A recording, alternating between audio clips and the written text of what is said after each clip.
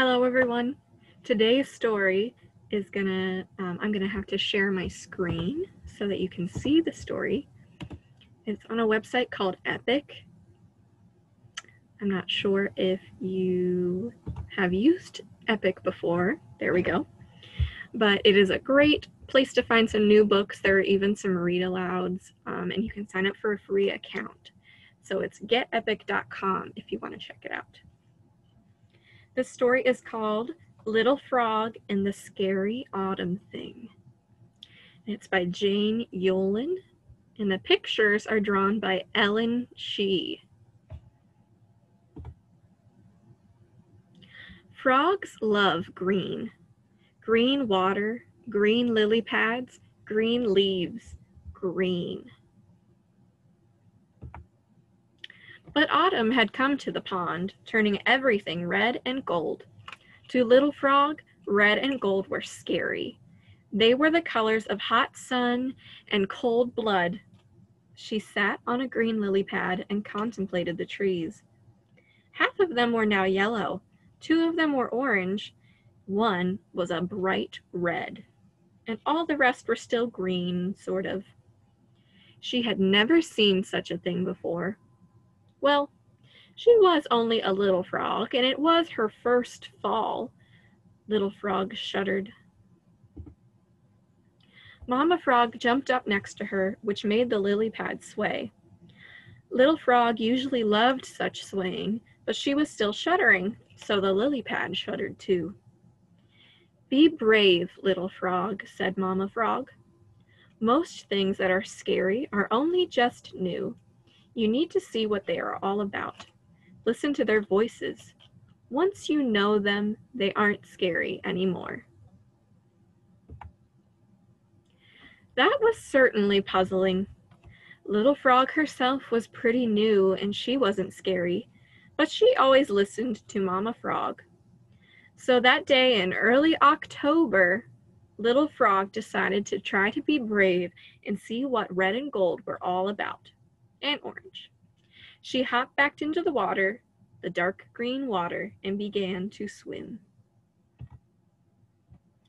Her heart was going bumpity bump, bumpity bump, and she did the backstroke, the side stroke, and some frog paddling too, but she made it to the shore. Brave little frog. She stuck one toe onto the brown dirt. After green, little frog loved brown the best. Brown is soft and comfortable and familiar. She took one step and another and another. Though now her heart was going bumpity bump and thumpity thump. Brave, brave little frog. Then Little Frog hopped a bit down a twisty path, going toward the wood, the wood that was full of red and gold and orange. She wasn't sure about orange. Brave, brave, brave little frog. Suddenly, a wind whooshed through the trees. Leaves began to rain down. Red leaves, yellow leaves, orange leaves, scary leaves in scary colors, making a scratchy, scratchy noise. Little Frog hopped this way, ran that way, spun about, fell down, ran again. She wasn't being very brave now. By the time she stopped hopping, running, spinning, and falling down, Little Frog was lost. Horribly, miserably lost. Besides, her right leg hurt.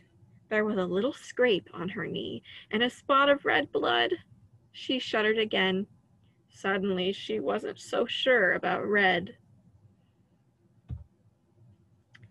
It was dark in the woods, except for those patches of red and gold and orange, and purple as well. She was absolutely not sure about purple. Strange sounds came from everywhere. Scary sounds. Whir, chirr, broom. Little Frog didn't feel very brave anymore. All she felt was scared. But then Little Frog listened more closely, just as Mama Frog had told her to. Whir! That was the voice of the wind through the leaves. Chirr! That was the voice of a squirrel up a tree. Baroom! That was the voice Papa Frog used in the spring.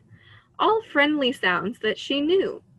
But everything was strange indeed, because it wasn't spring, it was autumn, and autumn was scary.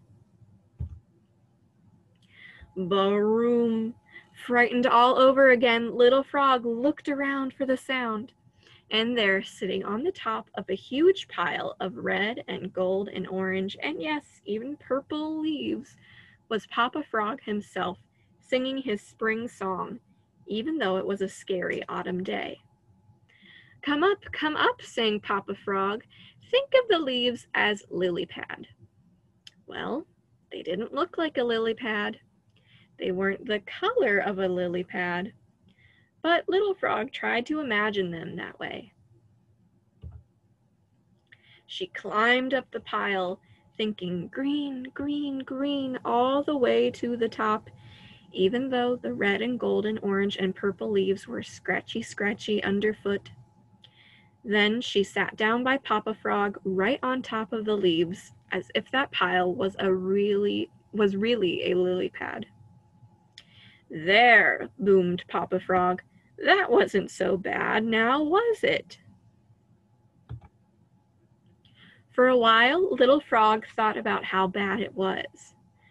Then she thought about how the leaves were actually kind of crispy, how they were gold like the rising sun, orange like the sky at dawn, and red like the sky at sunset.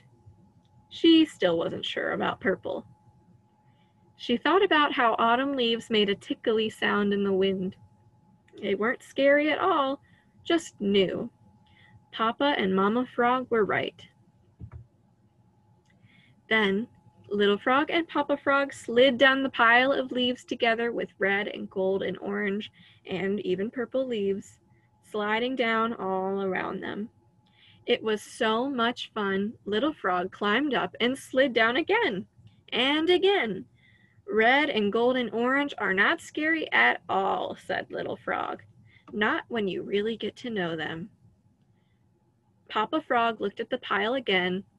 And purple's not scary either, he said. Only new.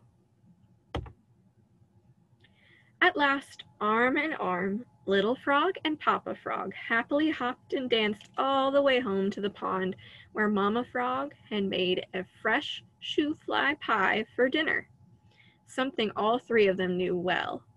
It was still hot, just the way they liked it best. And even better, inside it was all green. The end. All right, friends. Thank you for joining me for that story. I hope you liked it, even though it was kind of long. Um, I'll see you again later.